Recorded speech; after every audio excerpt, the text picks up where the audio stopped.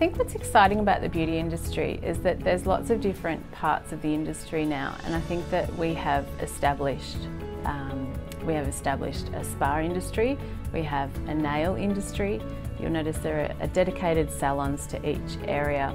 Um, you do have your, um, your local salon that has the waxing facials and massage um, and they'll do nails and, and all of the, um, the typical beauty treatments. Um, but you also have your dermal clinicians that can be in the salon or they have their own dermal clinic and um, you have the beauty therapists that want to move into dermal. It's just such a broad industry but people move um, back and forward to different areas and I think that's really nice. I think it's important that everyone knows where each um, profession fits uh, and I think it's really um, exciting that we've evolved and we've really established ourselves.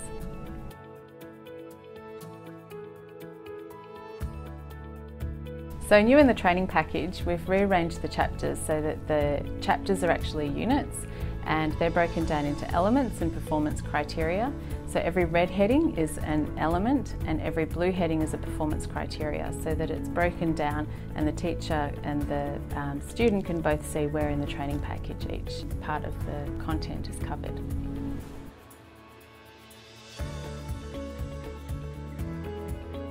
So we've made sure that the book is usable um, for people who want to deliver the Certificate 3, the Certificate 4 and the Diploma um, in a way that we tend to cluster the subjects. So we tend to have spa, we tend to deliver it with Indian head massage and aromatherapy and with stone massage. So we've made sure that they're all in the book.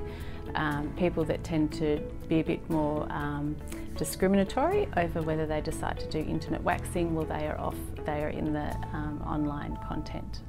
Um, we've kept the performance criteria and the elements in the printed text and we've got all the underpinning knowledge um, in the workbook and we've made sure that the student is engaged so that we have made the workbook an activity book and added content um, that is complicated or detailed or um, doesn't really slot in well with the um, content in the printed text is all in the workbook.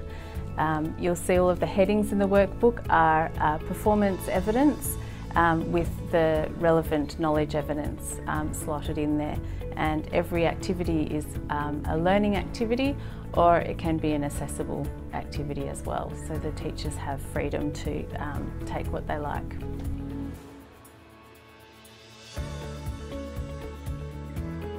I'm really proud of the fact that I've developed a resource that is um, very user friendly for teachers and for students.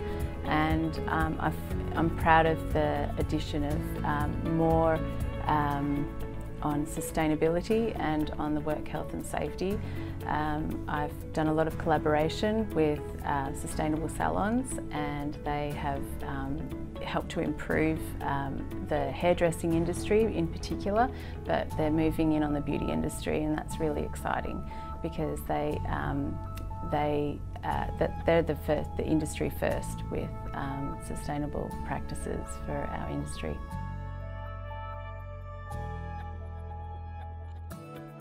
We help the instructor by providing a solutions manual. So every question, we have the end of chapter questions have solutions. The in chapter activities have solutions or suggested solutions as appropriate. And we have um, solutions for the workbook as well. Some of them might be web links, some of them might be um, literal answers. Um, but it helps for the instructor to just have the whole book mapped to the training package, obviously. So there's no mapping um, required.